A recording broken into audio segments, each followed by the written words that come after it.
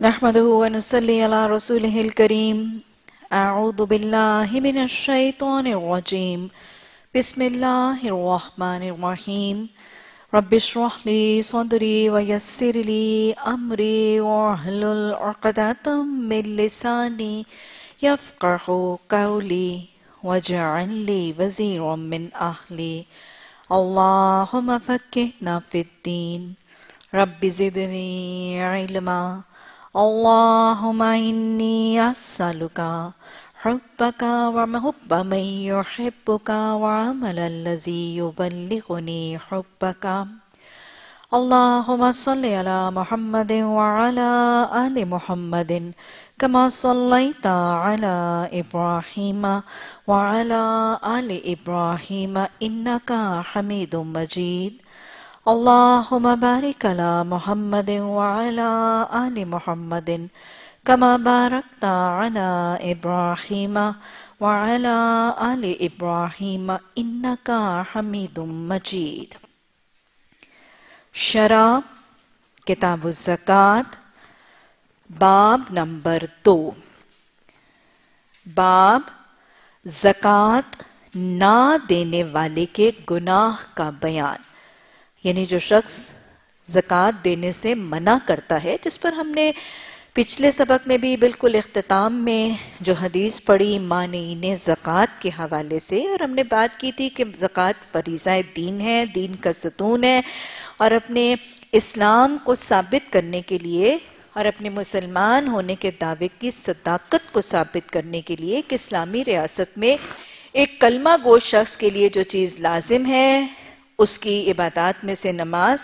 और मर्दों के लिए बाजमात नमाज़ और ज़क़़त की अदायगी। हयात तय्यबा में हमने पिछले दफ़ा सबक के आखिर में वो हदीस पढ़ी थी। अल्लाह के रसूल, रसूलुल्लाह सल्लल्लाहु अलैहि वसल्लम ने हयात तय्यबा में मानईन ज़क़़त, वो लोग जिन्होंने ज़क़़त देने से मना कर दिया था, रोक दिया था, उनके खिलाफ एक लश्कर हज़रत उसामा बिन जैद की क़्यादत में तैयार करवाया था। और फिर अल्लाह के रसूल सल्लल्लाहु अलैहि वसल्लम को ज़िंदगी में मोहलत ना मिली और फिर आपकी वफ़ात के बाद खुलफ़ा अव्वल हज़रत अबू बकर सिद्दीक रज़ी अल्लाह तन ने हज़रत उमर रज़ी अल्लाह तन की मुखालफत के बावजूद उनको कायल करने के बाद वो मुकालमा जो हमने हदीस में पढ़ा था, उसके बाद वो लश्कर जो है वो मानईन ज़क़़त के ख़िलाफ़ रवाना किया था। तो गोया यहाँ पर मानईन ज़क़़त का गुनाह और उनका अंजाम बताया जा रहा है कि मानईन ज़क़़त, यानी वो लोग जो ज़क़़त कलमा पढ़ने के बावजूद ईमान का दावा ईमान का ऐलान करने के बावजूद अगर कोई शख्स जक़ात नहीं देगा, यानी वो साहिब निसाब है मतलब क्या है कि वो माल खुदादाद उस राजिक के दिए हुए माल के उसके पास एक साल मलकियत होने के बावजूद निसाब की अगर वो जक़ात अदा नहीं करेगा तो उसकी सज़ा क़यामत के दिन क्या है, हदीस की रूह से बताया जा रहा है। हदीस नंबर 706 हज़रत अबू हुरैरा रज़ी अल्लाह तन से रवायत है कि रसूलुल्लाह सल्लल्लाहु अलैहि वसल्लम ने फरमाया कि क़यामत के दिन ऊँट अपने मालिक पर आएँगे। ऊँट कौन से आएँगे? वो ऊँट जिनकी आज आपने हदीस में बड़ी ही वजाहत से पढ़ा कि चार से जायद ऊँटों पर जक़ात है और कितने कितने ऊँट बढ़ते जाएँगे, कितनी डिटेल में हदीस ने आज आपने तर्जमा पढ़ा कि कितने से कितने ऊँटों पर कैसी ऊँटनी और कैसी ऊँटनियों पर कितनी तादाद, वो सारी तो जो लोगों ने जक़ात नहीं दी होगी, जिन ऊँटों पर जक़ात नहीं दी होगी, वो अपने मालिक पर आएँगे, जिनके जिनकी मलकियत में वो ऊँट थे, निसाब से ज़्यादा थे और उस निसाब से जायद ऊँट होने के बावजूद मालिक ने जक़ात अदा नहीं की थी। वो क़यामत में अपने मालिक पर आएँगे। मालिक पर आएँगे का मतलब उसके ऊपर आएँगे।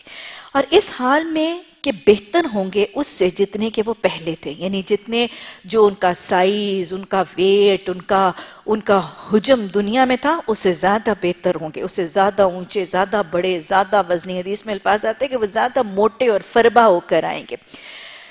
यानी खूब मोटे होंगे ताकि वो रोंदने में ज़्यादा तकलीफ़ हो। क्यामत में याद रखिएगा, अस्तगफिरुल्लाह, रब्बी, मिन कुल्ल जम्बिन बतूबो लाइक क्यामत में हर ही अजाब के एग्जैजरेट करने और उसके बढ़ाने का तस्करा आता है। जैसे हमें जहन्नम में पता चलता है ना कि अल्लाह सुबहाना ताला फरमाते हैं कि जहन्नम की आग एक तो दुनिया की आग से बहुत ज़्यादा उनहत्तर गुना ज़्यादा गर्म होगी। दुनिया की आग के मुकाबले में उसको बार बार अगर वो कम होने लगेगी तो उसको बार बार सईरा भड़का दिया जाएगा।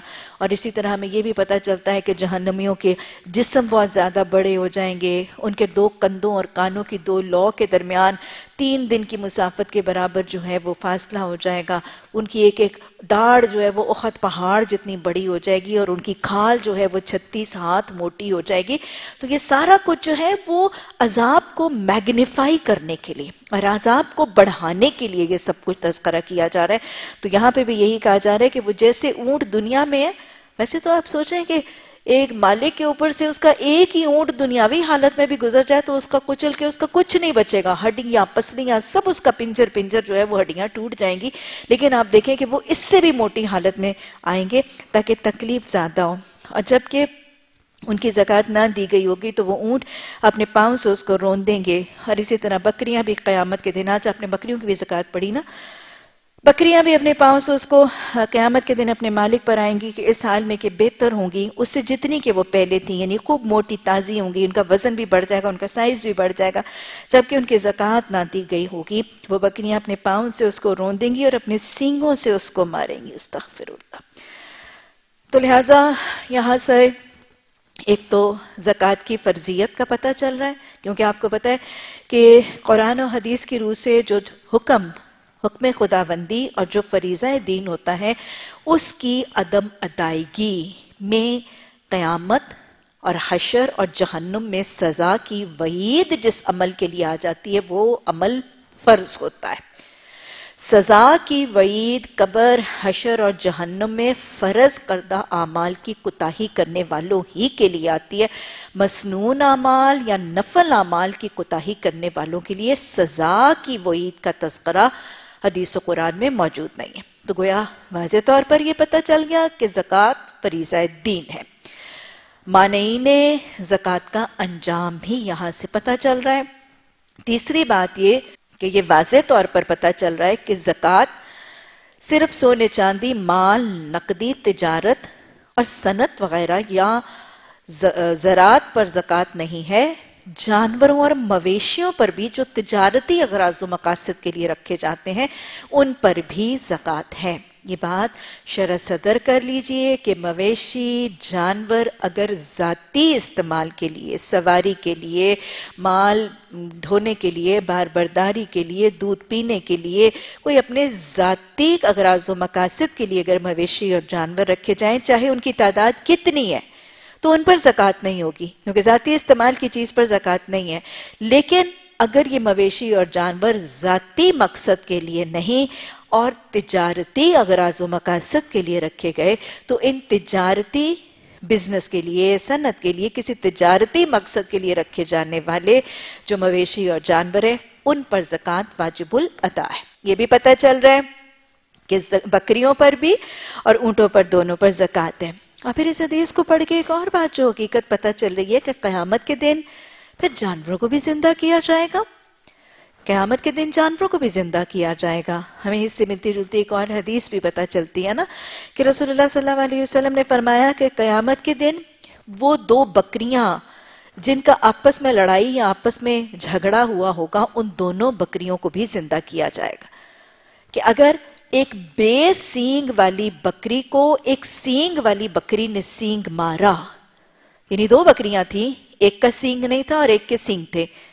अगर एक बे सींग वाली बकरी को, एक सींग वाली बकरी ने सींग मारा तो कयामत के दिन इन दोनों को ज़िंदा किया जाएगा।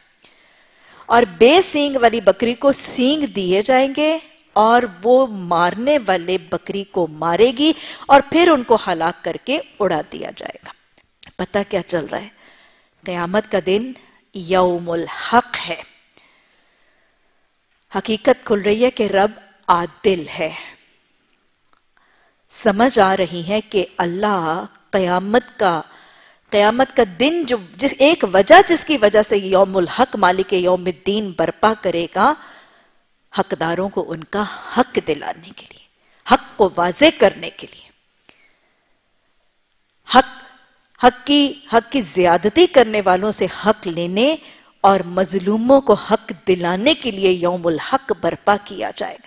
अल्लाह बड़ा इंसाफ करने वाला है, अल्लाह बड़ा अदल करने वाला है और अल्लाह मजलूमों को कयामत के दिन उनके हक दिलवाएगा जालिमों से।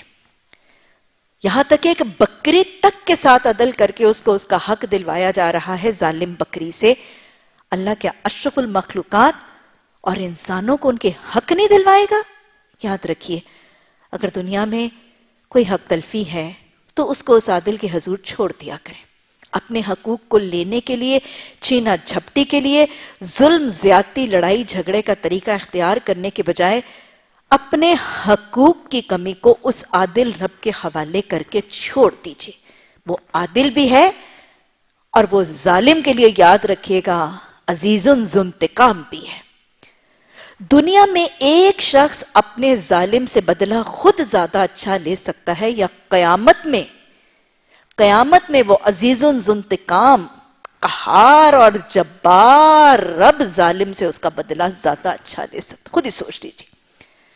जिनको अल्लाह की पहचान है, जिनको अल्लाह के आदिल होने की सिफत पर ईमान है, जो अल्लाह पर तवक्कुल और कनात करते हैं, उसके समी बसीर खबीर अलीम होने की पहचान रखते हैं उनके लिए अपने जालिमों को दरगुजर करके, उनके लिए अपने ऊपर जुल्म करने वालों को माफ़ करके मामला अल्लाह के हजूर छोड़ना मुश्किल नहीं है। और फिर, बहुत बड़ी बात समझे जाने के लायक है, जुल्म करने से भी बचना है। जालिम कहीं फरार नहीं पा सकेगा। जालिम अगर दुनिया में बहुत ताकतवर हुआ, बहुत ओदा हुआ, बहुत बहुत ज़्यादा साहिब इकतदार हुआ, और दुनिया में अगर उसने जुल्म की अंधेर नगरी मचा भी दी तो कितनी देर मचाएगा कितनी देर जुल्म बर्पा करेगा दुनिया की आरजी ज़िंदगी में? कयामत के दिन उससे हर जुल्म का बदला मजलूम को ज़रूर दिलवाया जाएगा। और हदीस जुमरे में दोहरा लीजिए। आप सल्लल्लाहु अलैहि वसल्लम ने सहाबा कराम से सवाल किया था क्या तुम्हें पता है मेरी उम्मत का फकीर कौन होगा? तुम्हें मालूम है मेरी उम्मत का फकीर कौन होगा? फकीर या मस्कीन कौन होगा? आपने फरमाया, मेरी उम्मत का फकीर या मस्कीन वो शख्स नहीं होगा जिसके पास माल नहीं होगा। वो तो वो शख्स होगा जो कयामत के दिन ढेर सी नेकियाँ लाएगा। वो तो वो शख्स होगा जो कयामत के दिन ढेर सी नेकियाँ लाएगा, नमाज़, रोजा, जक़ात, हज एन मुमकिन तहजद सदकात, कितनी नेकियाँ उसने एक एक कतरा बूंद बूंद करके जमा की होंगी, लेकिन उसका हाल ये होगा। उसने किसी का हक मारा होगा, किसी पर जुल्म किया होगा, किसी के साथ ज्यादती की होगी, किसी के साथ बदसलूकी की होगी। और कयामत के दिन उन मजलूमों को उसके साथ हाजिर कर दिया जाएगा। यह जुल्म का अंजाम। आपने फरमाया था ना कि जुल्म से बचो, क्योंकि जुल्म क्यामत के दिन अंधेरों की शक्ल में आएगा। जुल्म से बचो, क्योंकि जुल्म क्यामत के दिन अंधेरों की शक्ल में आएगा। तो लिहाजा उन मजलूमों को उसके सामने हाजिर कर दिया जाएगा। और फिर क्या होगा? हदीस बताती है कि सबसे पहले तो उस शख्स उस शख्स की सारी नेकियाँ मजलूमों के पलड़ों में डाल दी जाएँगी। अस्तगफिरुल्लाह रबी मन कुल जम्बिन बोले अल्लाह अगर कहीं हक तलफी, कहीं ज्यादती, कहीं जुल्म, तेरे बंदों पर करने का इरतकाब हमें से किसी से हुआ है। तो अल्लाह उन जुल्म और ज्यादतियों को दरगुजर फरमा देना। अल्लाह सुबहाना ताला, अगर हम भूल चुके हैं, तू तो एक एक चीज़ को जानता भी है, याद भी रखता है, तेरे इल्म में भी है, तेरी किताबों में भी लिखवा दिया गया, दर्ज करवा दिया गया। अल्लाह, अगर हमसे कोई जुल्म, ज्यादती, हक तलफिया हुई है तो उनको हमारे नामा अमाल से बख्शिश का परवाना देकर उनको उनको मिटा देना। अल्लाह आइंदा भी जुल्म से बचने वाला खुश नसीब बना दे। अल्लाह के रसूल सल्लल्लाहु अलैहि वसल्लम ने फरमाया, उस जालिम की नेकियाँ उन मजलूमों के पलड़े में डाल दी जाएँगी। और फिर क्या होगा? जब उस जालिम की नेकियाँ अगर खत्म हो गई, लेकिन अभी उसका हिसाब खत्म नहीं हुआ, उसकी ज्यादतियाँ खत्म नहीं हुई। आप देखिए तो सही कि लोग दुनिया में जुल्म करते और जुल्मत की अंधेरे मचा छोड़ एंडलेस जुल्म करते चले जाते हैं। किसी पोजीशन में, किसी रिलेशनशिप में जो जोरावर होता है, वो वन अप होता है, वो जुल्म करता है। घर में अगर सास का रसूख है तो वो जुल्म करती है और वो इतना शदीद जुल्म करती है और जब बहू का राज हो जाता है तो वो इतना शदीद जुल्म करती है अपनी उस बूढ़ी सास पर। और ऐसे किया जाता है कि लगता है कि शायद खत्म ही नहीं होगा ये। और भूल ही जाता है कि शायद कभी इसका बदला भी देना है। और बदला कैसे देना है? अपनी वो बड़ी मेहनत से कतरा कतरा की भी नेकियों को जमा करके देना है। अल्लाह हमें आखिरत की फ़िक्र अता फरमा दे। अल्लाह इस दुनिया से हमारा दिल गनी कर दे। अल्लाह आखिरत का शौक और शगफ अता फरमा दे और अल्लाह के सामने खड़े होने का तकवा अता फरमा दे अल्लाह महासिब ना हिसाब सीरा और फिर आपने फरमाया कि जब उसकी नेकियाँ खत्म हो जाती हैं, लेकिन अभी जुल्म नहीं खत्म हुआ, अभी हक तलफियाँ नहीं खत्म हुई तो फिर क्या है? हदीस में आता है कि फिर उन मजलूमों के गुनाह इस जालिम के पलड़े में डाल दिए जाते हैं। ये है वो मस्कीन उम्मत का बड़ी नेकियाँ लेकर आया था, लेकिन कुछ नहीं रहा उसके पास। कयामत के दिन खाली हाथ हो गया अमाल नामा नेकियों से भरा हुआ खाली हो गया अमाल नामा गुनाहों से हल्का भारी हो गया और अपना कोई गुनाह नहीं था। गुनाह किसका था? औरों का था। किन के गुनाह थे? जो बस औकात लोग करते हैं और करते चले जाते हैं, चुगलियाँ करते हैं और आफतें ढाते चले जाते मज़ाक उड़ाते हैं और समझते हैं कि हम मज़ाक उड़ा रहे हैं, हम बड़े विटी बन रहे हैं। अरे वो चुगली करने वाला, गिबत करने वाला, मज़ाक उड़ाने वाला, ताने तिशने देने वाला, कर क्या रहा होता है? अपनी नेकियाँ किसी और के पलड़े में डाल रहा होता है, या उसके गुना अपने पलड़े में डालने का अहतमाम कर रहा होता है। सोचे तो सही कि जिस शख्स का इतने बेतकल्लुफी से मज़ाक उड़ा रहे होते जिसका इतनी बेतकल्लुफी से आबरू जनी कर रहे होते हैं, उसकी हकारत उसकी नापसंदीदगी, उसके दिल के अंदर आने वाले कीने की बुनियाद पर जिसके साथ ये सब कुछ किया जा रहा होता है कि दिल में इतनी नफरत होती है कि जबान पे जहर आ रहा है उसके साथ इतनी खैर और भलाई का काम कि उसको अपनी नेकियाँ देने का तरीका इख्तियार किया जा रहा है। अल्लाह हमें दीन का फहम अता करके अपनी ज़िंदगी के तरीके इख्तियार करने की तोफीक अता फरमाए। तो लिहाजा याद रखिएगा कि क़यामत का दिन यौमुल हक है। अल्लाह आदिल उस दिन हकदारों को उनके हक दिलवाएगा और हक तलफी करने वालों को मजलूमों के और मजबूरों के से उनका बदला दिलवाएगा। इसीलिए अल्लाह के रसूल सल्लल्लाहु अलैहि वसल्लम ने वो मसनून दुआ सिखाई अल्लाह आउजुबिका कि अल्लाह मैं पनाह माँगता हूँ कि मैं जुल्म करूँ या मैं जुल्म किया जाऊँ। दोनों चीज़ों से पनाह मांगी। अजलिम उजलिम। मैं इस बात की पनाह माँगता हूँ कि मैं जुल्म करूँ या मैं जुल्म किया जाऊँ। अल्लाह ना हमें जालिम बनाए और ना ही हमें मजलूम बनाए। अल्लाह जुल्म से बचाए और जुल्म से करने वाला ना बनने की तोफीक अता फरमा दे। तो लिहाजा, इस हदीस में वो शख्स जिसने अपनी जान पर जुल्म किया, जुल्मन कसीरन, बहुत ही उसने जुल्म कर दिया कि राजिक रब ने तो उसको माल दिया था, उसको मवेशी दिए थे, उसको जानवर दिए थे, उसको ऊँट दिए थे। उसको बकरियाँ दी थी और उसने निसाब के मुताबिक अपने साल भर उससे फ़ायदे उठाने मुस्तफ़ होने का मामला इख्तियार किया, लेकिन जक़ात की अदायगी के वक्त वो बखील हो गया और उसने जक़ात देने से इनकार कर दिया उसका अंजाम। यहाँ पर सिर्फ़ दो चीज़ों के माने इन्हें जक़ात का तस्करा एक और हदीस, अगर मुस्लिम शरीफ की हदीस देखें, और वो भी तवील हदीस है, इसी से मिलती जुलती है कि उसमें आप सल्लल्लाहु अलैहि वसल्लम ने ज़्यादा वजाहत से अल्फाज आते हैं कि आप सल्लल्लाहु अलैहि वसल्लम ने फरमाया कि वो लोग जिन्होंने जक़ात देने से इनकार किया होगा, उनको क़यामत के दिन मुँह के बल जहन हशर के मैदान में लिटा दिया जाएगा। ये मैदान हशर की सजाए इस हदीस में।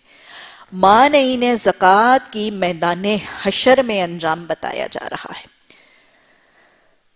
मफहूम बता रही हूँ हदीस का कि माने इन्हें जक़ात हदीस बताती है कि उनको मुँह के बल हशर के मैदान में लिटा दिया जाएगा। सबसे पहले हदीस बताती है कि वो सोना चांदी जिस पर उन्होंने जक़ात नहीं दी की, दी होगी, उस सोने चांदी को तख्तियों की शक्ल में लाया जाएगा और उन तख्तियों को जहन्नम की आग पे दहकाया जाएगा। और दहकाने के बाद उनकी पीठों को उस सोने चांदी की दहकी हुई तख्तियों से दागा जाएगा।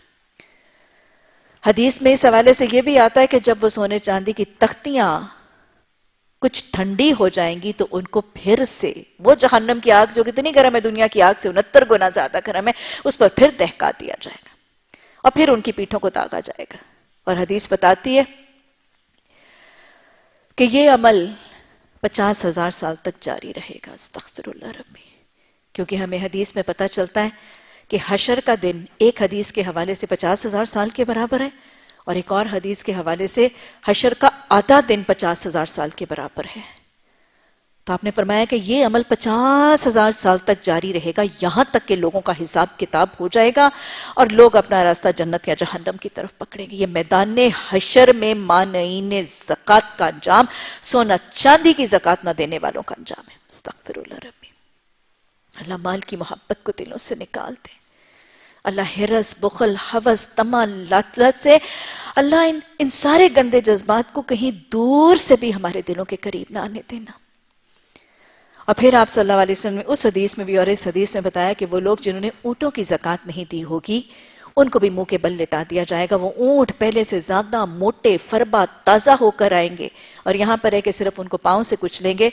उस हदीस में इजाफा है कि वो उनको मुँह से काटेंगे और वो बिल बिल आएँगे और हदीस में फिर बकरियों का भी तस्करा है कि वो उनको अपने खुरों से रौंदेंगी और उनको अपने सींगों से कुछ लेंगे। वतूबलैक और फिर आप सल्लल्लाहु अलैहि वसल्लम ने फरमाया कि हक भी इसका यह है कि पानी के किनारे पर इसका दूध दोया जाए। यानी ऐसी जगह पर कि जहाँ मस्कीन लोग आए और सबका हक जो है, जब अल्लाह रिज देता है तो उसका हक ये है कि गरीबों, मस्किनों, मोहताजों, सब तक की माल तकसीम हो और फिर आपने फरमाया कि ना आए कोई क्यामत के दिन, अपनी बकरी को लेकर अपनी गर्दन पर उठाए हुए, इसके लिए कि आवाज़ हो, बस वो कहे शख्स, ए मोहम्मद सल्लल्लाहु अलैहि वसल्लम, मेरी सिफारिश करें और मैं कह दूँ, मेरे लिए मैं तेरे लिए किसी चीज़ का मालिक नहीं, मैंने अल्लाह का हुक्म पहुँचा दिया था और तूने नहीं माना। और ना आए कोई क्यामत के दिन साथ ऊँट के कि वो अपनी गर्दन पर उसको उठाए हुए हो और उसके लिए आवाज़ हो। यानी बकरी जो है, वो भी वो भी आवाज़ निकाल रही हो और वो भी बिल बिला रही हो और ऊँट भी बिल बिला रहा हो और बिल बिलाते हुए ऊँट को और बिल बिलाती हुई बकरी को अपनी गर्दन पर उठा कर लाए, ऊँट को लेकर आए और उसके लिए आवाज़ और बस वो कहे कि, मोहम्मद सल्लल्लाहु अलैहि वसल्लम, मेरी सिफारिश करें। और मैं कह दूँ कि मैं मैं तेरे लिए किसी चीज़ का मालिक नहीं, मैंने अल्लाह का हुक्म पहुँचा दिया अस्तगफिर यानी जो कोई जक़ात नहीं देगा तो क़यामत में उसका हाल ये होगा कि वो अपने जानवर को अपनी गर्दन पर लेकर आएगा, और ये लाजिम है ऐसा होना।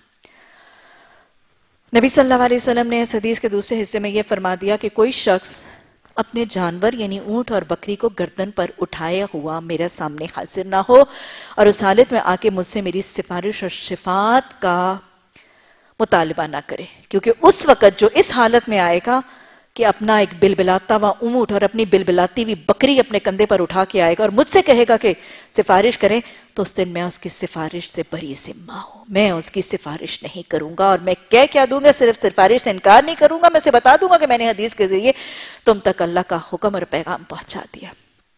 ये कौन से ऊँट और कौन सी बकरियाँ होंगी? अक्सर रवायात जो हमें मुहदसिन हदीस की शरह बयान करने वाले बताते हैं कि वो कहते हैं कि ये माने इन्हें ज़क़़त।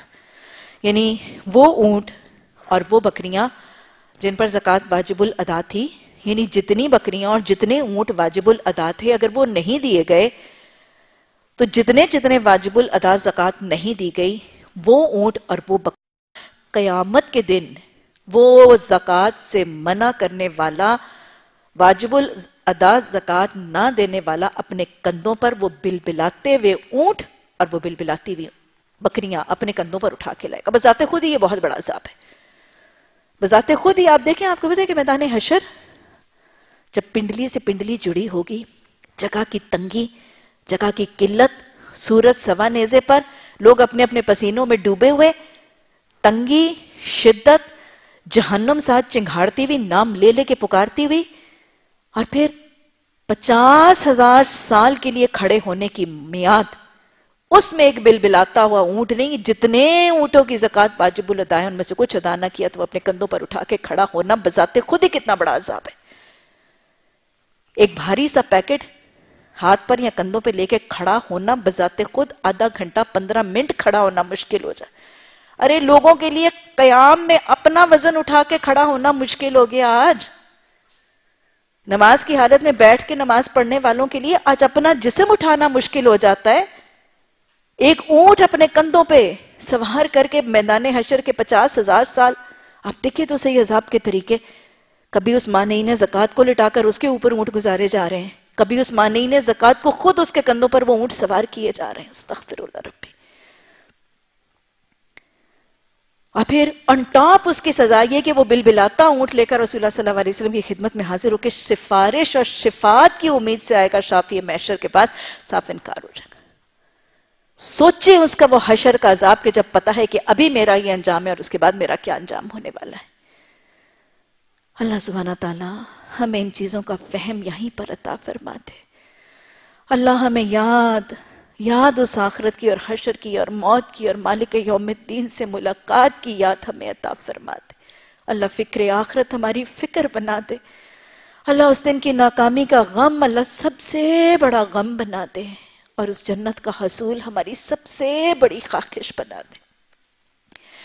और कुछ की रवायात में हदीस की शरह बताने वाले ये भी कहते हैं कि शायद ये बैतुल माल की खयानत की ऊँट और बकरियाँ होंगे।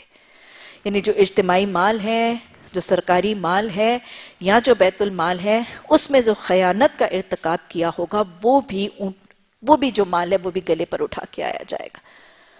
तो लिहाजा यहाँ पर एक और चीज़ जो पता चल रही है कि नबी सल्लल्लाहु अलैहि वसल्लम फिर किस उम्मती की सिफारिश और शिफात का साफ़ इनकार कर देंगे?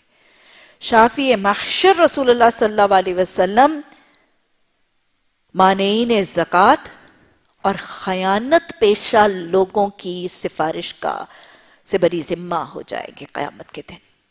अल्लाह हमें इन दोनों चीज़ों को समझने, ज़िंदगी के शोबे में किसी बारीक सी खयानत से बचने और अल्लाह ज़क़़त की अहमियत को अपने दिलों में रासख करने की तोफ़ी अता फरमा दे। शाफी मशर मोहम्मद सल्लल्लाहु अलैहि वसल्लम इन दो अफराद की सिफारिश का इनकार कर देंगे बड़ी जिम्मा हो जाएँगे। अल्लाह हमें उन अमाल से बचने की तोफ़ी अता फरमा, जो उम्मत को शफात रसूल सल्लल्लाहु अलैहि वसल्लम से महरूम कर दे। और फिर आप ये देखें, अकीदा सिफारिश और अकीदा शिफात भी वाज हो रहा है। वो अकीदा सिफारिश और अकीदा शिफात जो आयतल कुर्सी में आता है, मंजल बेजनी तो लिहाजा अल्लाह सुबहाना तआला ने वाज तौर पर फरमाया ना कि कौन है जो अल्लाह के पास सिफारिश कर सकता है? सिर्फ़ अल्लाह ही सिफारिश, अल्लाह के इज़न के बगैर कोई सिफारिश नहीं कर सकता, क्योंकि अल्लाह ही को लोगों के अगले पिछले के हालात पता है। किसी इंसान को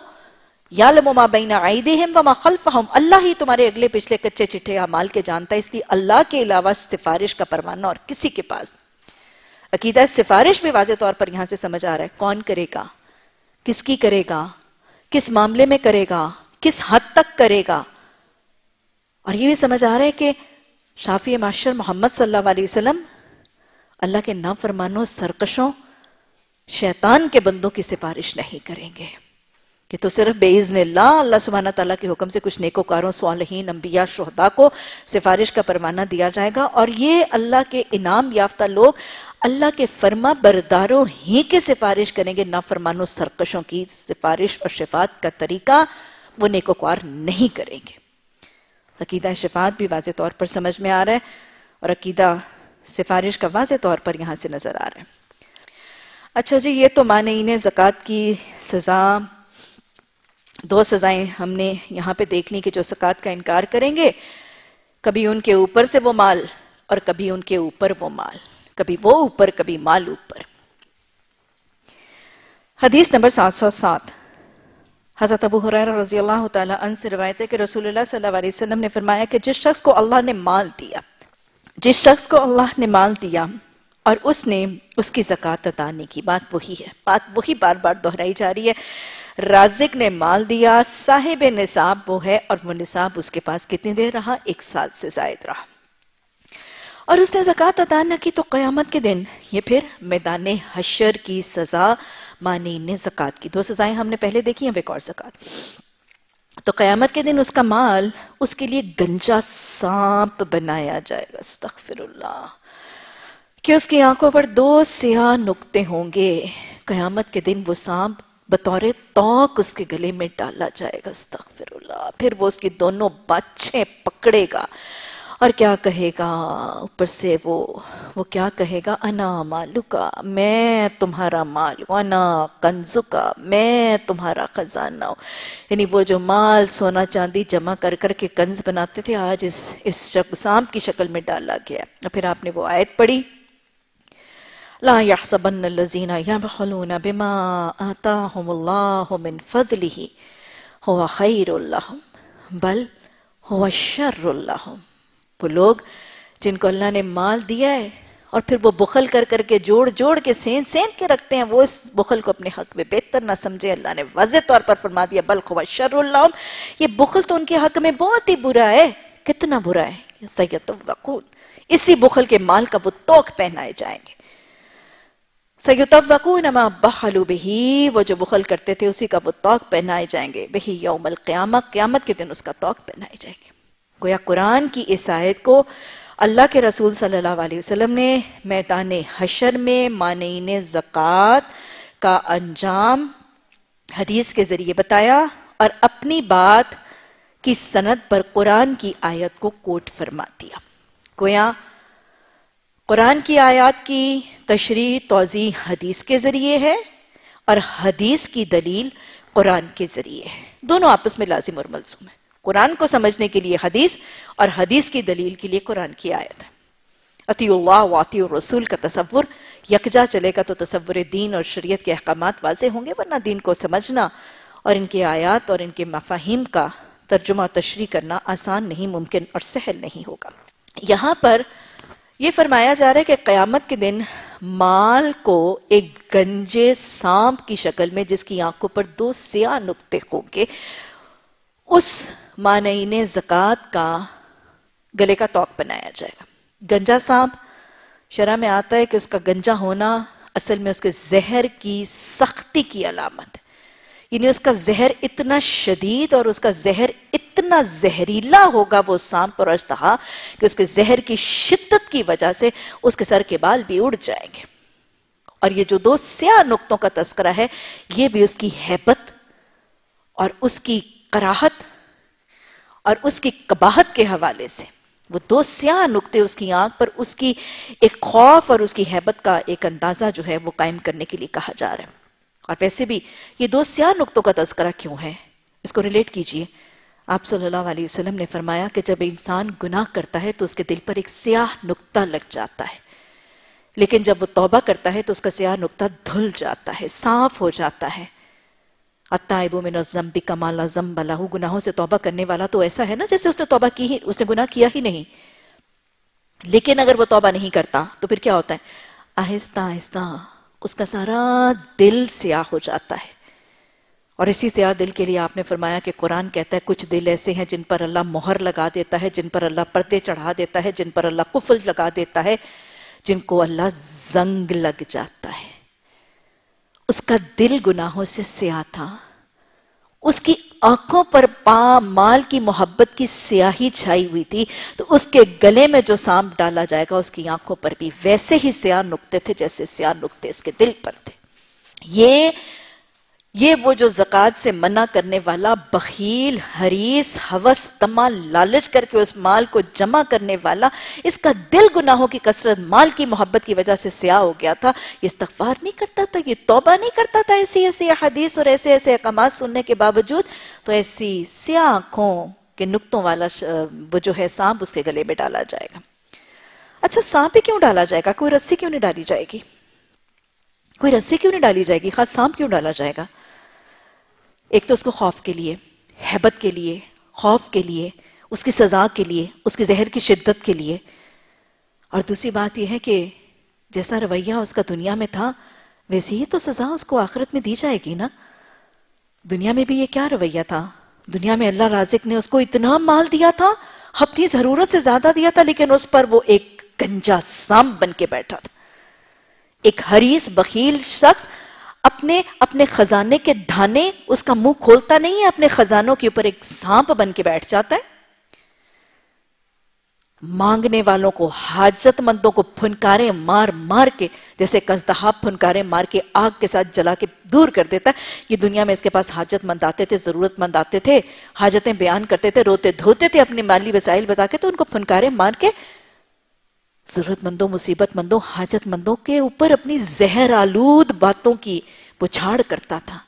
ये जो दुनिया में जहर उगलता था, ये जो दुनिया में हाजतमंदों को आग के फुनकारों से उनकी ज़िंदगी दूभर करता था और जो अपने खजाने पर सांप बखील बन के बैठा था, उसके गले में वही सांप डाला जाए। जैसा उसका रवैया था, वैसा उसके साथ किया जाएगा।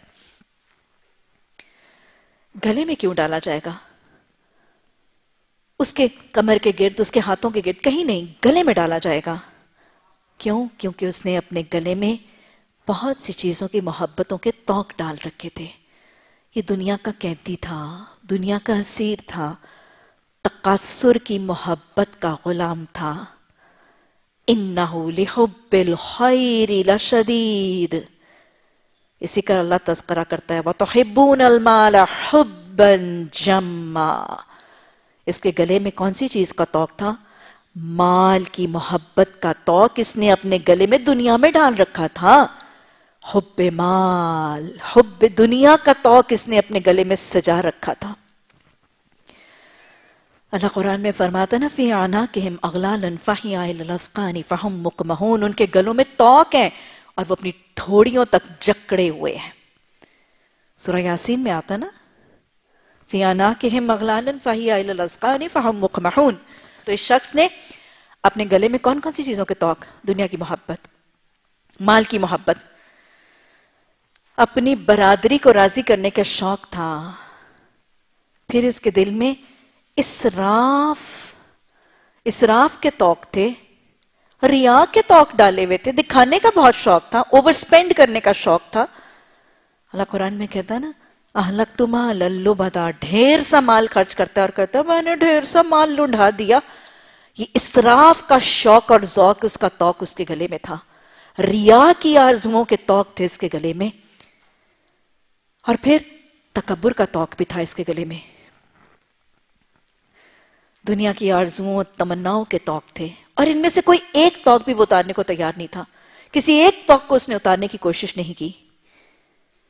बस अल्लाह के इतने नापसंदीदा, अल्लाह के इतने हराम करता तौक जब उसने अपने गले की जंजीर बनाए हुए थे और अपने गले का हार बनाए हुए थे और उनको उतारने पर तैयार नहीं था तो बस फिर ऐसा ही ऐसा ही एक उसका नापसंदीदा तोक फिर क्यामत के दिन उसके गले में डाल दिया जाएगा, जो दुनिया में रब पसंद ज़िंदगी गुजारता है, उसके लिए है मनपसंद आखरत, और जो मनपसंद ज़िंदगी गुजारता है, उसके लिए है नापसंद आखरत।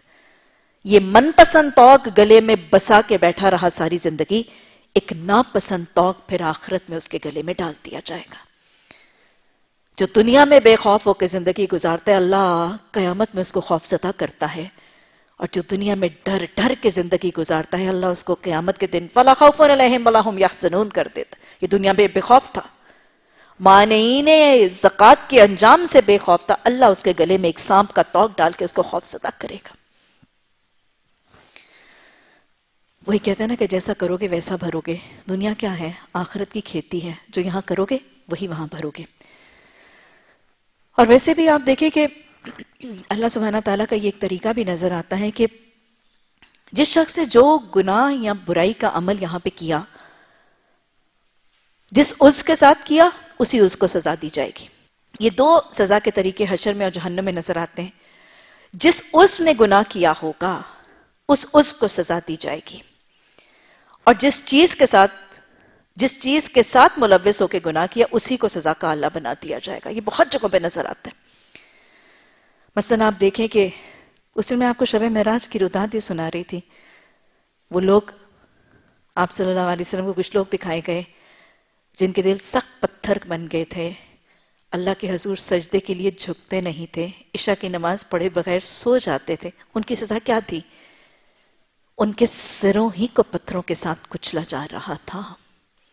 जो सर अल्लाह के हजूर झुकना, गवारा नहीं करते थे, उस सर ही को, जो सर सजदे के लिए झुकता नहीं था, उसी सर को पत्थर से कुचला जा रहा था। फिर वो जो कमरे रकू के लिए वरकू महराकईन जो कमरे रकू के लिए नहीं झुकती थी, क्यामत के दिन उन्हीं को किसका बना दिया जाएगा? लोहे या लकड़ी के तख्तों का बना दिया जाएगा। झुकने की ख्वाहिश के बावजूद वो झुक नहीं पाएँगी। इसी तरह वो शख्स जिसने कुरान याद किया और कुरान को याद करके भुला दिया, उसी दिमाग को, उसी भेजे को जिसने याद किया था भुला दिया था, उसी को कुचला जाएगा।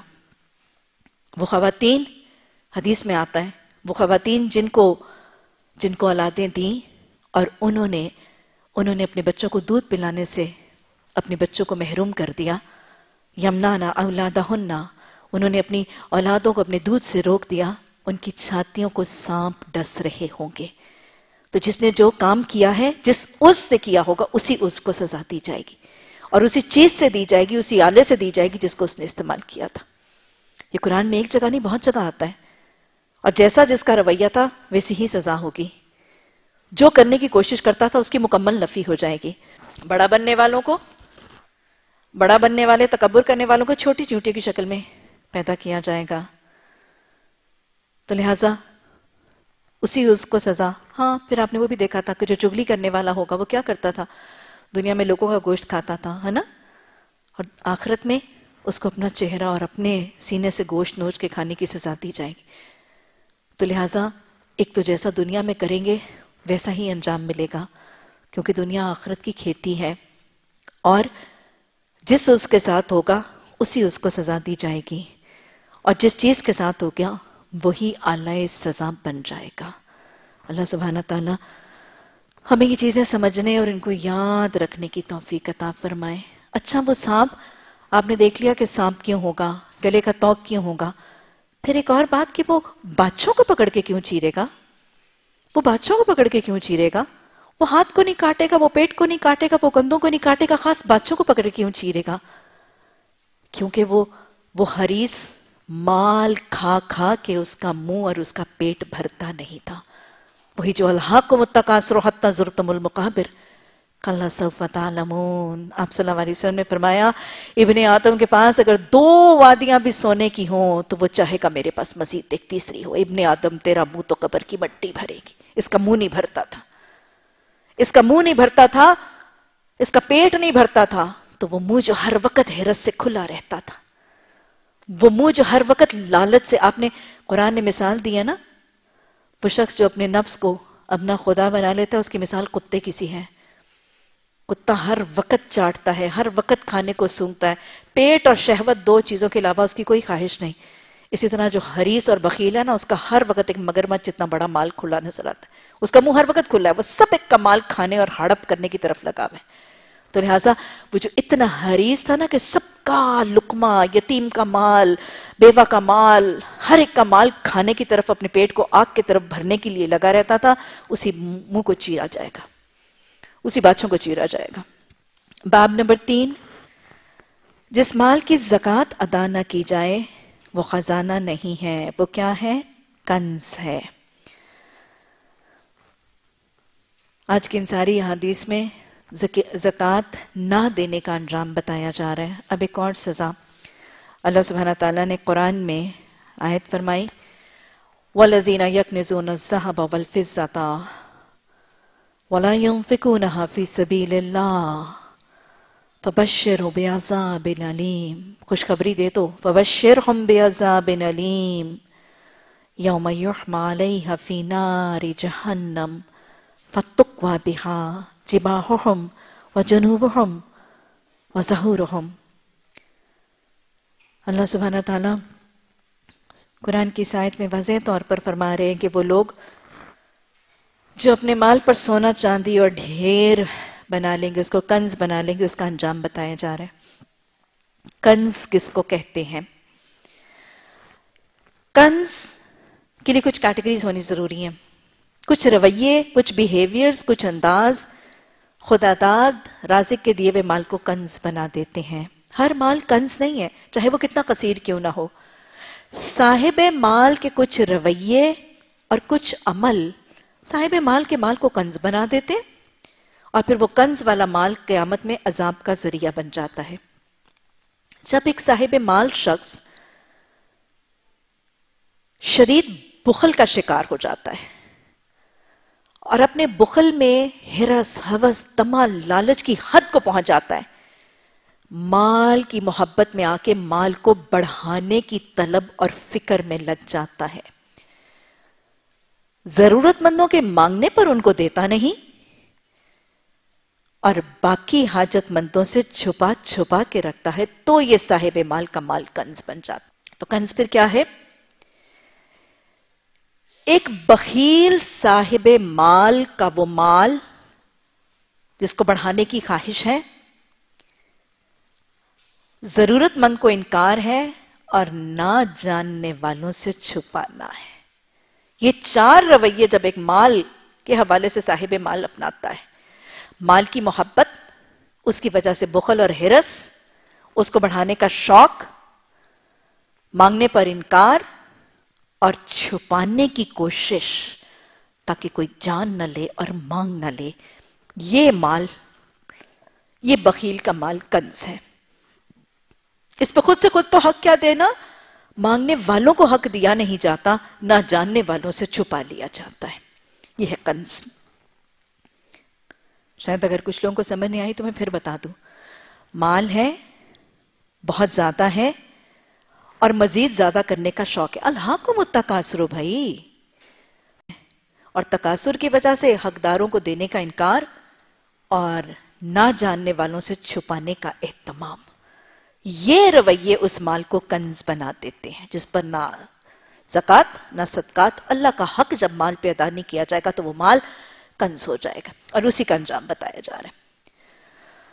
उसको क्या किया जाएगा? यही सोने चांदी के ढेर इन नहुल खैरी लशदीद में आके, मोहाल की मोहब्बत में आके, जब वो सोने चांदी के ढेर न जरूरतमंदों को दिए जाते हैं, छुपा छुपा के, गिन गिन के रखे जाते हैं। तो ये माल कयामत के दिन, उसको सोने चांदी को तख्तियों की शक्ल में क्यामत में जहन्नम की आग पे दागा जाएगा फतुकवा फिर स्टैंप किया जाएगा अल्लाहुम्मा जिरना मिनन्नार। अल्लाहुम्मा जिरना मिनन्नार रब्बना सिरफाना अज़ाब जहन्नम इन्ना अज़ाबहा काना गरामा इन्नहा सात मुस्तकर व मकामा स्टैम्प किया जाएगा, दागा जाएगा किसका? उनकी पेशानियों को। पेशानियों को क्यों दागा जाएगा?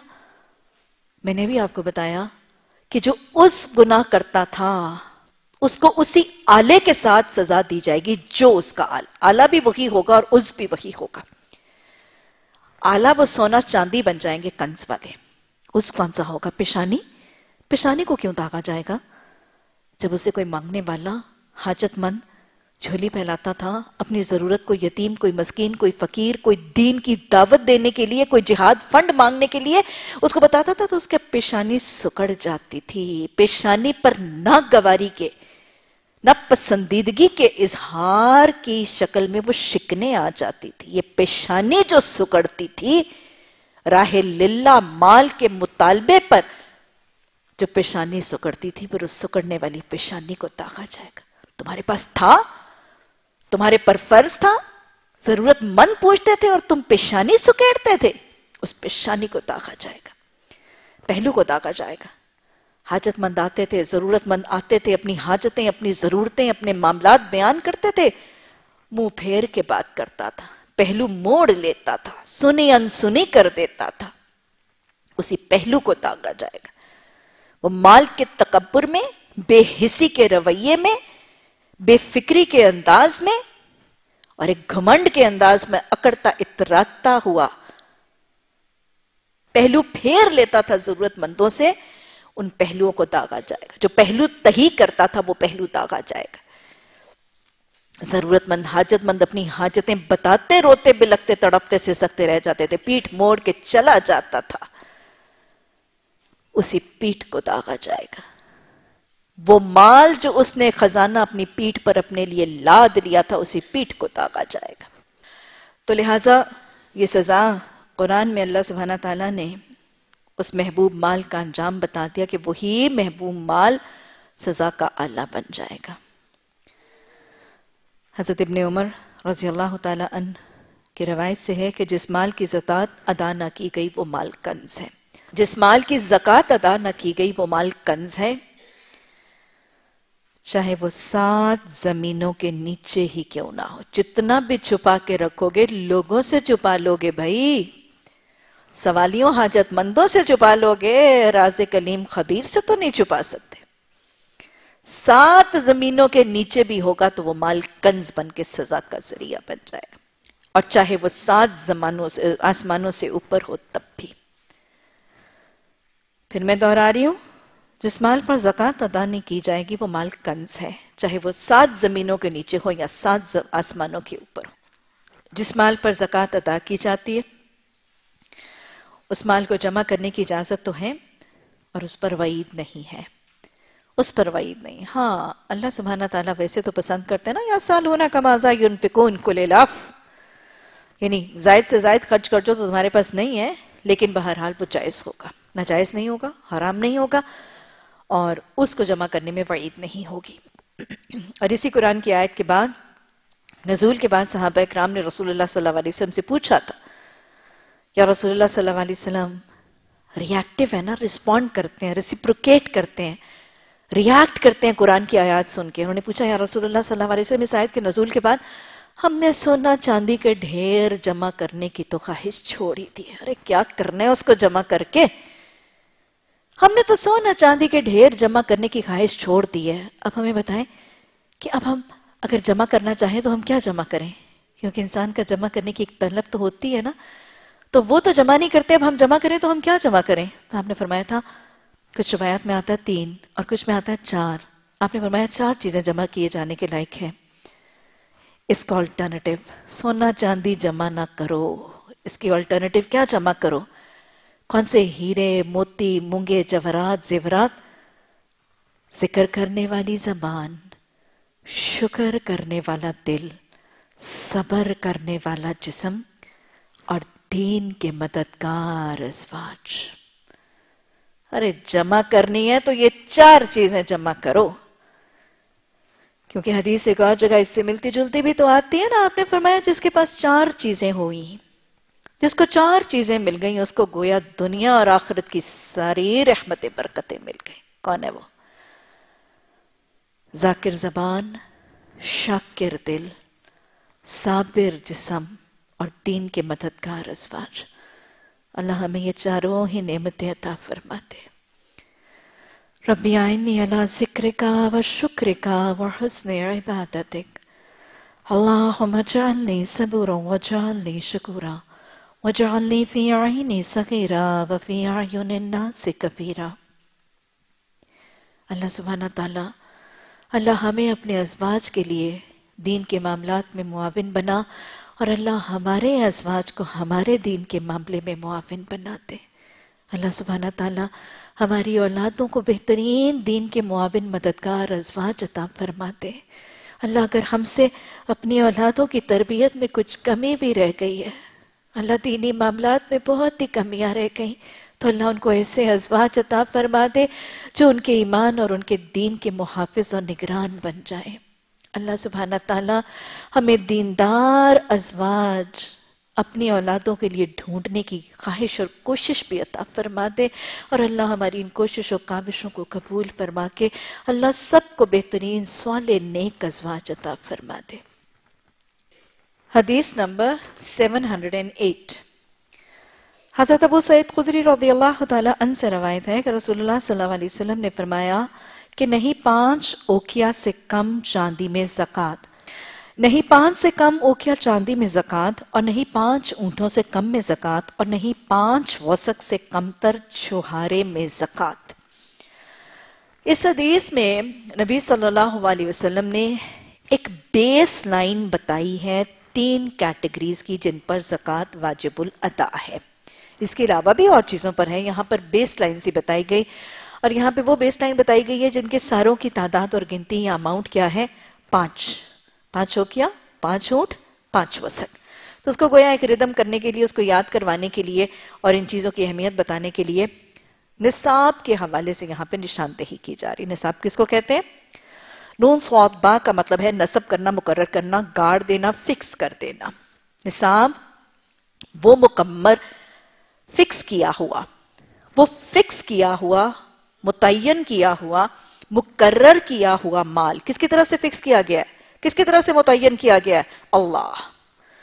जिसका हक है ना, वो राजिक रब ने खुद उसको मुतयन कर दिया, खुद उसको फिक्स कर दिया, खुद उसको हाईलाइट कर दिया, उसको नसब कर दिया है कि जिसके पास वो माल, उसकी मलकियत में एक साल से ज़्यादा रहेगा, उसको जक़ात अदा करनी फ़र्ज़ है। ये माल जो साहिब माल के पास एक साल से ज़्यादा रहने पर जक़ात वाजिबुल अदा है, ये माल निसाब जानना चाहता है। मुख्तलिफ़ चीज़ों पर निसाब मुख्तलिफ़ है। यहाँ पर पाँच ओकिया का तस्करा चांदी का निसाब, बावन तोले चांदी, सोने का निसाब, साढ़े सात तोले सोना।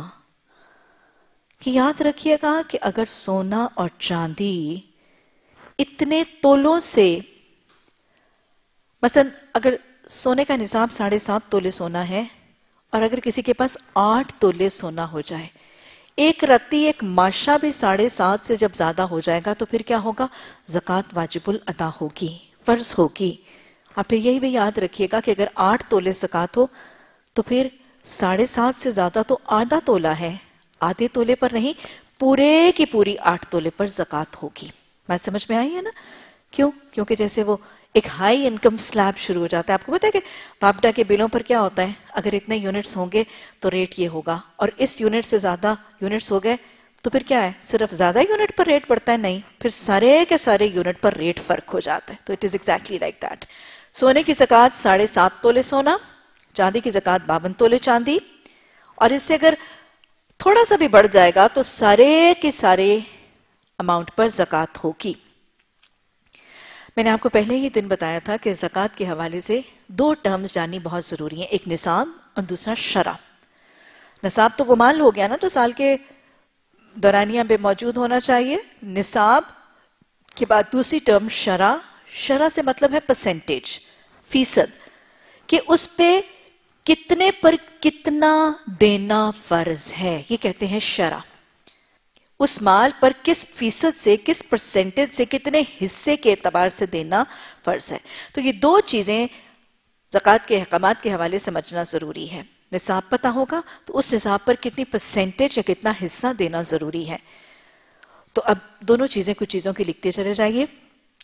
सोने चांदी क्या निसाब बावन तोले इसकी शरह ढाई फ़ीसद।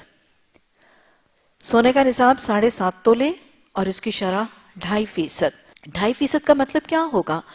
कि हर सौ तोले सोने के पीछे ढाई तोले की कीमत दी जाएगी। यहाँ ढाई तोला सोना और यहाँ ढाई तोले सोने की कीमत। एक साल अगर सौ तोले से ज़्यादा सोना रहेगा तो ढाई तोले सोने की कीमत यहाँ उसका वज़न दिया जाएगा जक़ात में। अगर किसी के पास सौ तोले है तो वो ढाई तोले देगा, और अगर किसी के पास चालीस तोले है तो वो एक तोला देगा। और अगर किसी के पास दस तोले हैं तो वो तोले का चौथा हिस्सा देगा। ठीक है जी? तो ये शरा है कि उस सोने और उस चांदी पर किस परसेंटेज या किस फ्रैक्शन के साथ शरा दी, सोना चांदी की जक़ात दी जाएगी? ढाई फ़ीसद टू एंड हाफ़ परसेंट माल। माल का निसाब सोने चांदी की निसाब है। अगर माल, सोने या चांदी की कीमत के मुताबिक उस शख्स के पास माल है, यानी सोने का निसाब या चांदी के निसाब के बराबर उस शख्स के पास माल उतना है, उतना कैश उतना डॉलर उतना, उतने पैसे उसके पास हैं, सोने, चांदी, इतने इतने सोना, चांदी जो मैंने निसाब के बराबर का है, उसकी कीमत के बराबर अगर उसके पास माल एक साल के लिए रहा है तो वो भी वाजिबुल वाजिबुल जक़ात है, और माल की शराबी ढाई फ़ीसद ही है। तिजारत, तिजारती माल और सनत पर भी जक़ात है। तिजारत और सनत पर भी जक़ात है। इंशाल्लाह आगे जाके मैं ज़्यादा वजाहत से इसको इसको बयान भी करूँगी। अभी सिर्फ़ निज़ाम और वो लिख लीजिए। तिजारत में अगर माल तिजारत, यानी फ़रोख्तनी माल और सनत में भी सेलेबल गुड्स यानी सेलेबल गुड्स यानी फ़रोख्तनी माल, अगर उसकी कीमत सेलेबल गुड्स की कीमत, अगर सोने, चांदी के निसाब की कीमत से जायद है, यानी जो सेलेबल गुड्स एक बिजनेसमैन के पास या एक फैक्ट्री ओनर के पास जो सेलेबल प्रोडक्ट्स हैं, उनकी कीमत, अगर बावन तोले चांदी की कीमत या साढ़े सात तोले सोने की कीमत से ज़्यादा है तो फिर उस सेलेबल गुड की कीमत पर भी ढाई फ़ीसद के एतबार से सनत और तिजारती माल पर जक़ात अदा की जाएगी। बस एक बात देख लीजिए, सनत और ज़रात में जक़ात सिर्फ़ फरोख्तनी सेलेबल गुड्स पर दी जाती है, बाकी किसी चीज़ पर नहीं वजाहत आगे होगी। ज़रात, खेती बाड़ी, इसका निसाब इसका निसाब पाँच वसक which is equal to almost बीस मन, और 625 किलोग्राम। सोने चांदी, माल, तिजारत और सनत की जक़ात साल में एक दफ़ा दी जाएगी। साल में एक दफ़ा ढाई फ़ीसद की शराह से दी जाएगी। लेकिन ज़रात का मामला इससे फ़र्क है। ऊपर मैंने जितनों की बताई, वो ढाई फ़ीसद की शराह से साल में एक दफ़ा दी जाएगी। वो तिजारत है, वो सनत है, वो माल है, वो सोना है, वो चांदी है, वो साल में एक दफ़ा दी जाएगी ढाई फ़ीसद की शराह से। लेकिन ज़रात का निसाब तो ये ठहरा, इसकी शराह भी फ़र्क और इसकी अदायगी का वक्त भी फ़र्क है। ज़रात में जक़ात की अदायगी यौमा स्वाति ही, उसके फ़सल के कटने के दिन। फ़सल साल में एक दफ़ा कटती है तो एक दफ़ा।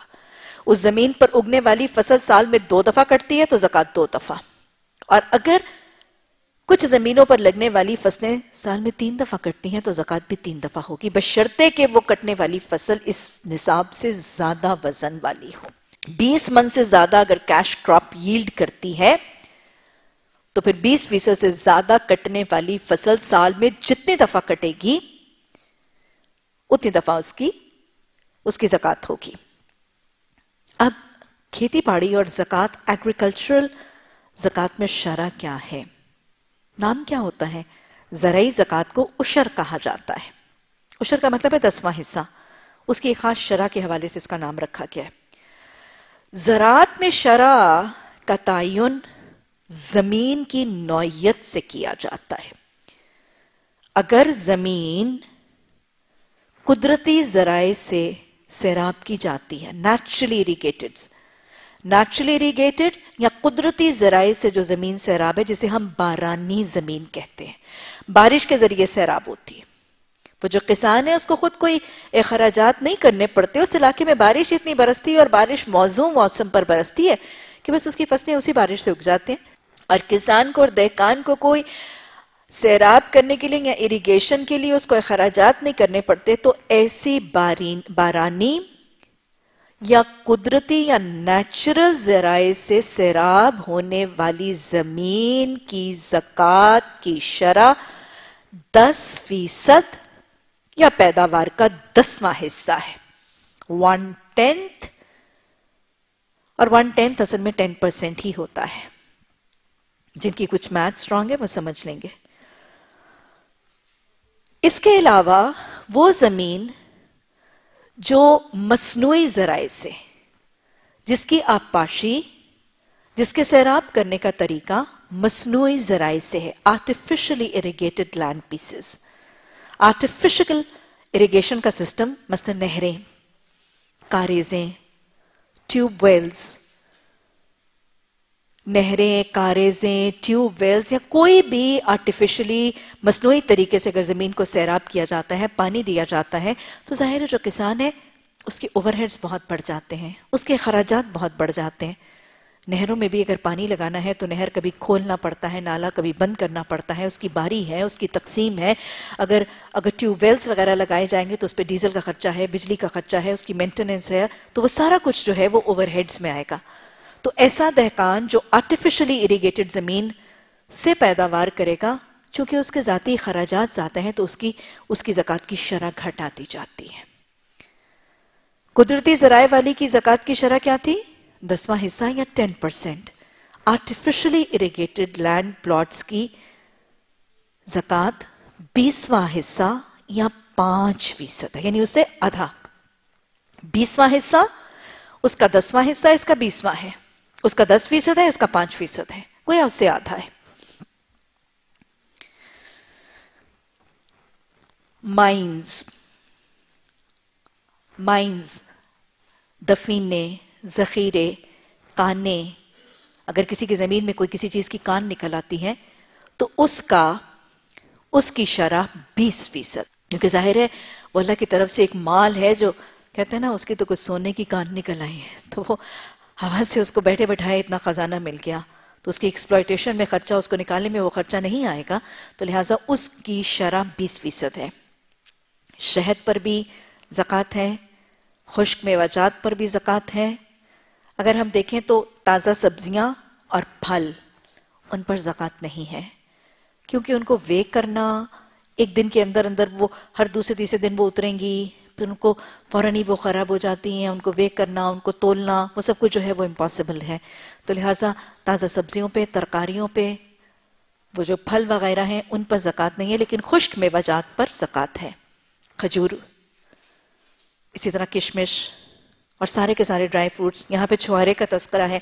तो लिहाजा इन पर ज़क़़त है और ये बिल्कुल उसी तरह होगी जैसी ज़रूरी ज़क़़त है। इसी तरह ऊँटों पर, बकरी पर और गाय पर। ये सारी की सारी ज़क़़त, ऊँट बकरी और गाय की ज़क़़त हम हदीस के तर्जुमे में बहुत वजाहत से पढ़ने और इंशाल्लाह जब हम वहाँ पढ़ेंगे तो इस पर वजाहत होगी। तो गोया आज अपने जो बेसिक दो टर्म्स पढ़ ली और आपको समझ आ गई, वो कौन सा? एक निसाब और एक शरा। इनको दोहरा लीजिएगा और फिर इंशाल्लाह बाकी सारी किस्म की ज़क़़त के बारे में मैं इंशाल्लाह फिर एक दफ़ा दोहराई करूँगी ताकि ये चीज़ें रास्ते हो जाए।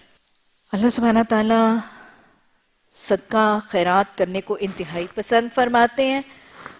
और जैसे आपने भी पीछे देखा कि अल्लाह सुबहाना ताला और रसूलुल्लाह सल्लल्लाहु अलैहि वसल्लम ने कुरान और हदीस के ज़रिए बुखल की तरदीद की, कहीं बखीलों की तरदीद की, कहीं मान से मोहब्बत करने वालों की तरदीद की, कहीं सूरत तकासुर में की, कहीं सूरह अल इमरान में की, कहीं सूरह बकरा में की। हदीस में एक और जगह मुफसिल बुखारी में एक और हदीस है। बखील शख्स का अंजाम हदीस में आता है कि बुखारी में हदीस है कि आप सल्लल्लाहु अलैहि वसल्लम ने फरमाया वो जो सोना चांदी है, उसको जहन्नुम में पत्थरों की शक्ल में दहका दिया जाएगा। क्यामत के मैदान हशर में, और कुछ कहते हैं कि जहन्नुम में यह सजा है कि सोने के पत्थर बना दिए जाएँगे और इन पत्थरों को जहन्नुम में दहकाया जाएगा। और फिर वो शख्स जो इनको खर्च नहीं करता था, उसको, उसके सीने पर, उसके पिस्तान पर जब मारा जाएगा तो वो उसके कंधे की हड्डी के ऊपर से निकल जाएगा। और फिर उस सोने के दहकाए हुए पत्थर को जब उसके कंधे की हड्डी के ऊपर मारा जाएगा तो वो उसके जिस्म से निकलकर उसके सीने से, उसके पस्तान या छाती से बाहर निकल जाएगा और वो बखील कांपेगा और थर थर आएगा यही हदीस के हैं और कुरान की आयात के बुखल की तरदीद। कि अल्लाह के रसूल सल्लल्लाहु अलैहि वसल्लम ने हदीस मुबारक में फरमाया कि मैं इस बात को दोस्त नहीं रखता। मैं इस बात को दोस्त नहीं रखता कि मेरे पास अगर ओहद पहाड़ जितना भी सोना हो तो मेरे पास तीन दिन से जायद रहे। कि तीन दिन और तीन रातों से जायद वो मेरे पास न रहे और ये वक्त भी आपने इसलिए लिया कि इसको तकसीम करने के लिए ये वक्त चाहिए। और मैं हमेशा आपको बताती हूँ कि नबी सल्लल्लाहु अलैहि वसल्लम के कौल और फेल में, हदीस और सुन्नत में मुकम्मल मुताबिकत नज़र आती। अगर आपने हदीस मुबारक में ये फरमा दिया कि मैं ये पसंद नहीं करता कि ओहद पहाड़ जितना भी सोना मेरे पास हो तो तीन दिन, तीन रात से ज़्यादा मैं उसको अपने पास रखना पसंद नहीं करता तो आपने अमल में से बढ़ के ही करके दिखाया। जो आपने ताकीद फरमाई उम्मत को, और जो आपने करने का दावा फरमाया, आपने उससे बढ़कर ही अमल किया। हम अपना रवैया तो देखें, हम दावे लंबे करते हैं और अमल में बहुत कमी रह जाती है। अल्लाह के रसूल सल्लल्लाहु अलैहि वसल्लम का वो वाक्य, आप सल्लल्लाहु अलैहि वसल्लम पर कर्ज था। खादिम आप सल्लल्लाहु अलैहि वसल्लम के पास हाजिर होते हैं और तस्करा फरमाते हैं कि जिस शख्स का कर्ज है, वो कर्ज की अदायगी का मुतालबा कर रहा है। काशाना रसूल सल्लल्लाहु अलैहि वसल्लम में फाका है। कर्ज अदा करने का रकम की रकम मौजूद नहीं है। आप सल्लल्लाहु अलैहि वसल्लम सहाबी को ताकीद फरमाते हैं कि सुबह कर्ज की अदायगी की बंदोबस्त करने के लिए कुछ करना। कि कल सुबह फिर कुछ कर्ज की अदायगी का बंदोबस्त करना, उसका एहतमाम करना, ताकि उस उस कर्ज देने वाले का कर्ज अदा कर दिया जाए। रावी कहते हैं कि आप सल्लल्लाहु अलैहि वसल्लम ने यह तजवीज दी कि थोड़ी ही देर के बाद हाल क्या है? कर्ज भी है, घर में फाका भी है। थोड़ी देर में ही रईस फिदक की तरफ़ से नबी सल्लल्लाहु अलैहि वसल्लम के लिए हदिये और तोहफों से लदे हुए ऊंटों का काफिला शहर में दाखिल हो जाता है। ऊँट है और ऊंटों का एक काफिला है और उस पे तोहफे हैं और उस पे हदिये हैं और वो ऊँट लदे हुए हैं हदियों और तोहफों से रईस फिदक ने भेजे हैं मोहम्मद सल्लल्लाहु अलैहि वसल्लम के लिए। तो फर हदिया कबूल करना जायज़ है, नबी सल्लल्लाहु अलैहि वसल्लम के लिए कबूल करना बरहक था, लेकिन हदीस के अल्फाज हैं कि अगर मेरे पास बहुत पहाड़ से भी ज़्यादा सोना हो तो मैं नहीं चाहूँगा कि तीन दिन, तीन रात से जायद इस हाल में गुजरे कि उसमें से कुछ भी मेरे पास हो। और कुरान ने हुक्म दे दिया या सलूना का मज़ा यूनफिकून कुल तो लिहाजा आप सल्लल्लाहु अलैहि वसल्लम ने कुरान का बशरी नमूना तो कायम करना है, जो ज़रूरत से जायद, हालाँकि ज़रूरत का हाल ये देख लीजिए। आप सल्लल्लाहु अलैहि ने, आप सल्लल्लाहु अलैहि ने बुलाया और आपने ताकीद की कि घर वालों के खाने के लिए और कर्ज की रकम की अदायगी के लिए माल रख लिया जाए। सिर्फ़ इतना जो इस वक्त घर वालों के इस मील के लिए ज़रूरी है और जो कर्ज कर्ज की अदायगी के लिए जो माल ज़रूरी है, वो रख लो, बाकी सब अल्लाह की राह में तकसीम कर दो। गरीबों, मस्किनों मोहदादों में तकसीम कर दो। आपके हुक्म को पूरा करने के लिए मामले का आगाज़ किया गया, लेकिन इतना बड़ा ऊंटों का काफिला भला तकसीम होता फिरता शाम तक। शाम को नबी सल्लल्लाहु अलैहि वसल्लम ने सवाल किया, क्या माल तकसीम हो गया? यानी अब मेरे घर में उस माल में से कोई रहा तो नहीं? बताया गया रसुल्ला सल्लल्लाहु अलैहि वसल्लम कोशिश के बावजूद अभी कुछ माल मौजूद है। आप सल्लल्लाहु अलैहि वसल्लम, जिस रात को आपके सहन, आपके घर में काशाना रसूल सल्लल्लाहु अलैहि वसल्लम में जिस रात दुनिया थी, माल था, आप अपने घर तशरीफ़ नहीं ले गए। आप अपने घर तशरीफ़ नहीं ले गए। नबी सल्लल्लाहु अलैहि वसल्लम को सुबह जब इस बात की खबर दी गई कि अल्हम्दुलिल्लाह सारा माल अल्लाह की राम में तकसीम हो गया तो आप सल्लल्लाहु अलैहि वसल्लम ने दो नफल शुक्राने के पढ़े यहाँ माल आता है तो शुक्राने के नफल पढ़े जाते हैं।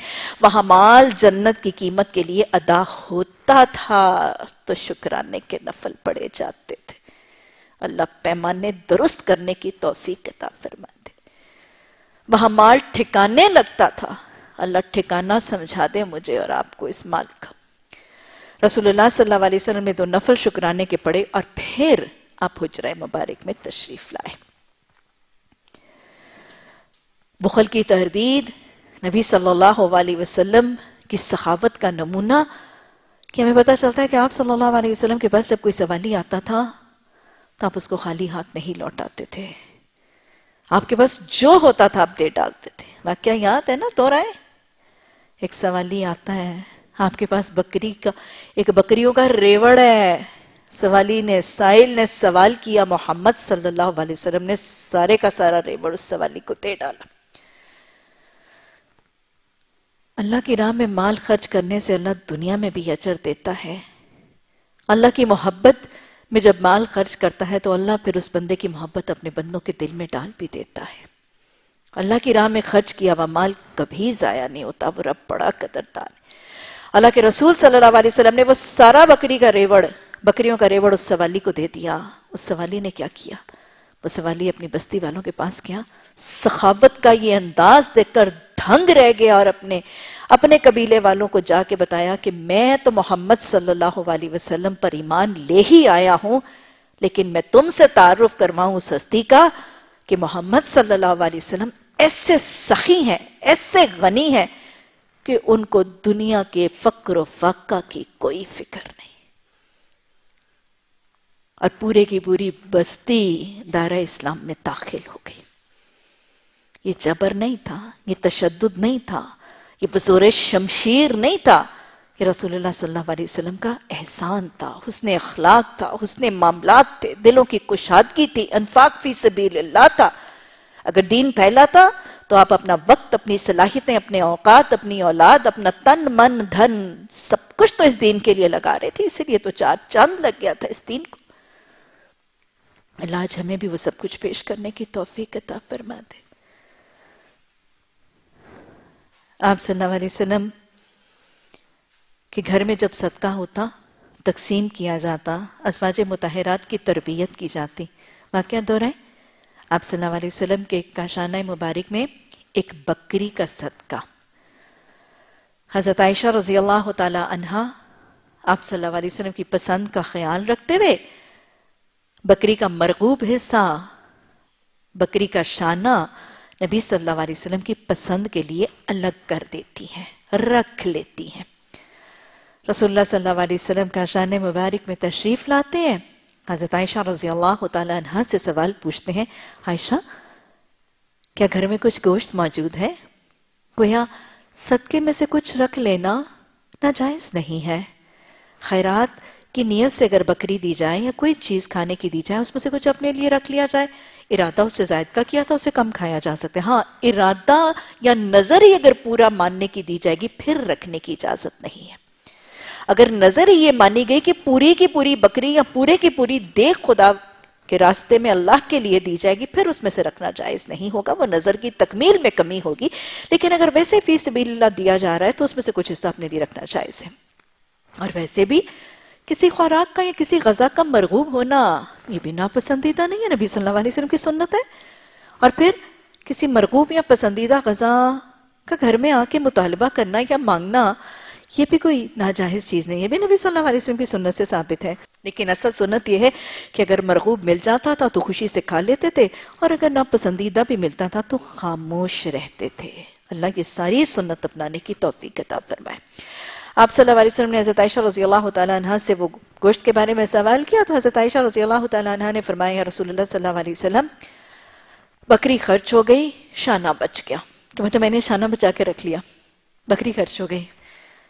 आप वसल्लम ने फरमाया, आयशा, यूँ ना कहो, बल्कि यूँ कहो कि बकरी बच गई और शाना खर्च हो गया।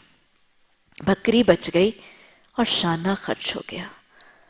अल्लाह हमें अपनी सोच का पैमाना बचने और खर्च करने के हवाले से ऐसा बनाने की तोफीक कता फरमा दे। जो जन्नत के लिए लग गया, वो बच गया। अरे जन्नत क्या है? खालिदीन फीहा, हम फीहा खालिदून।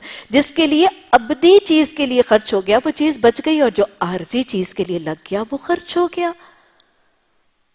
हदीस में आता ना कि इबन आदम कहता है, हाय मेरा माल, हाय मेरा माल। वाकई, चिमटा चिमटा के रखते अपने माल को। हाय मेरा माल, हाय मेरा माल। इबन आदम, तेरे माल में से तो तेरा माल वो है। यानी तू जो माल कमाता है, जो तू माल जमाता है, अपनी करेंसी बजा बजा के रखता है, उसमें से तेरा हिस्सा क्या है? जो तूने खा के उड़ा दिया, जो तूने पहन कर पुराना कर दिया, या जो तूने अल्लाह की राह में खर्च करके अपने लिए सदका जारिया बना दिया। ये तीन तेरे हैं। जो तूने अपनी जात पर खर्च किया था, खाया था, पहना था, अरे वो तो उड़ गया था, पुराना हो गया था, और यहाँ जो तूने अल्लाह के लिए खर्च किया था, वो तेरा है। बाकी क्या है? बाकी तो तेरे माल का, तेरे वारिस का है। बाकी तेरा है ही नहीं, बाकी तो तेरे वारिस का है। तू किस माल को चिमट चिमट के रखता है अपने साथ? सीने से लगा लगा के, जोड़ जोड़ के मोहब्बत कर करके उसको गिन गिन के रखता है। बाकी तो तेरा है ही नहीं, वो तो है ही तेरे वारिस का। यही तरबियतें हैं। महातुल मोमिन की हज़रत आयशा रज़ी अल्लाह तह के वाकयात दोहरा लीजिए। जब बुखल की इतनी तरदीद और इन्फाक की तरफ़ इतना माइल किया गया तो सहाबियात पर खर्च करती हैं। और महातुल मोमिन जो उम्मत की माएँ हैं और नमूना है। हज़रत आयशा रज़ी अल्लाह तह का वाक़ नबी सल्लल्लाहु अलैहि वसल्लम की वफ़ात के बाद, बेवा है, बाप भी नहीं है, बेटा भी नहीं है, तन्हा है, माल की ज़रूरत ज़रूरी होगी। माल के फ़क्र फाका और तंगी का खौफ शैतान ज़रूर ही दिलाता होगा। बाप भी नहीं, बेटा भी नहीं, शौहर भी नहीं तन्हाई भी है, बेवगी का दौर भी है, सब कुछ है। मुझे और आपको शैतान ज़्यादा खौफसदा नहीं करता, उनको भी करता होगा, उनको भी डराता होगा। रोज़े की हालत में है। भांजे ने, हज़रत अब्दुल्ला बिन जुबैर ने सौ दिरहम भेजे। सौ दिरहम भेजे, कुछ अवायात में हज़ार का तस्करा है, कहीं सौ का है। बहरहाल, जितने भी दरहम आए तो फतन आए, खाला को भेजे। हज़रत आयशा रज़ी अल्लाह तहा जिस दिन हज़ार दिरहम का तोहफा आया, भांजे की तरफ़ से रोज़े की हालत में है। जब वो दिरहम आते हैं तो हज़रत आयशा रज़ी अल्लाह तह जिनको रसूल सल्लल्लाहु अलैहि वसल्लम ने सिखा दिया था ना, आयशा, यूँ ना कहो, बकरी बच गई और शाना खर्च हो गया। अब खर्च करने के हक में है, सब बचाने के चक्कर में है। जो मैंने खा लिया, वो खर्च हो गया, ये हज़ार के हज़ार बचा लू। वो बचाने के चक्कर में कनीस को कहती हैं, लौंडी को कहती है, सारा माल अल्लाह की राह में तकसीम कर दो। लौंडी सारा माल तकसीम कर देती है। रोज़े का, इफ्तार का वक्त आता है। तो कनीस कुछ देर पहले कहती है, सदीका, क्या किया होता? कुछ इफ्तार के लिए गोश्त मंगा लिया होता? कि मतलब इतने पैसे आए थे? आपने सारे गरीबों, मस्किनों में तकसीम कर दिए, कुछ अपने लिए भी गोश्त मंगवा लिया होता? हज़रत आयशा सिद्दीका ने क्या फरमाया? फरमाती है, तुमने याद करा दिया होता। जुमला तो शायद बहुत छोटा सा है, लेकिन इसके पीछे सोच बहुत उम्दा और आला है। रवैया बड़ा उम्दा और आला है। तरजीहात बहुत खूबसूरत है। तुमने याद करा दिया होता, माल आया था, अपनी आरजुएँ, अपनी ख्वाहिशें, अपनी तमन्नाएँ, अपना खाना, अपना पीना, अपना ओढ़ना अपना कुछ याद नहीं था। अपनी कोई आरज़ू याद ही नहीं आई माल को देखकर कितनी आरजुएँ। यहाँ हाल ये कि हज़ारों ख्वाहिशें ऐसी कि हर ख्वाहिश पे दम निकले। यहाँ माल आने से पहले कितना लंबा लिस्ट और चिट्ठा बना लिया जाता है। वो खातन कमेटी डालती हैं और कमेटी निकलने से पहले पूरी प्लानिंग हो चुकी है उसको जाड़ने की। कमेटी आने वाली है ना? इस दफ़ा मैं पर्दे लगाऊँगी नहीं। फला वाला हैंडबैग मैंने ज़रूर लेना है। इस दफ़ा मैंने ना लेटेस्ट मॉडल का मोबाइल अपडेट करना है। वो एक फहरिस्त होती है। वो कमेटी थोड़ी और ख्वाहिशें ज़्यादा। आने से पहले ही उसके अखराज खत्म हो जाते वही रवैये है ना, माल आने से पहले ख्वाहिशों के अंबार। यहाँ माल आ जाने पर भी अपनी आरज़ू नज़र ही नहीं आती। अपने इर्द गिर्द यही ये आँख, जिनके आँख और कान और दिल उस काम के लिए इस्तेमाल होते थे, जिसके लिए वो दिए गए थे। आँख लोगों की खबरगिरी करती है, कान लोगों के हाजतें सुनते हैं, दिल लोगों का गम जब महसूस करता है तो फिर अपनी हाजतें नज़र नहीं आती। अपनी महरूमिया इंसान सुनने से रह जाता है और अपनी ख्वाहिशात को दबा लेता है। तुमने याद करा दिया होता, अपनी पेट की भूख, अपनी जबान की लज्जत याद ही नहीं थी। भूखों की भूख की फ़िक्र है, बेलिबासों का लिबास पहनाने का शौक है।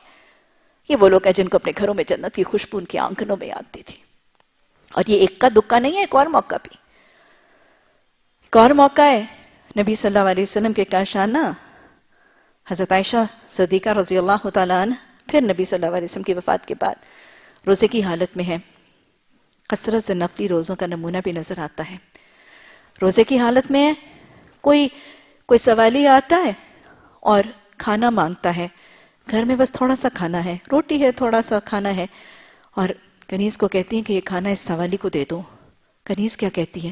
वो जिसको कहा था ना, याद दिला दिया होता, आज वो याद दिला रही है। कि फिर है, रोज़े से पहले कहेंगी, तुमने याद दिला दिया होता। कि इनको तो नहीं याद अपने पेट की भूख, इनको तो नहीं याद अपना इफ्तार, इनको एक सवाली भूखा आ गया, इनको उसकी भूख याद है, इनको अपना रोजा इफ्तार भूल गया, मैं आज याद ही करा दू?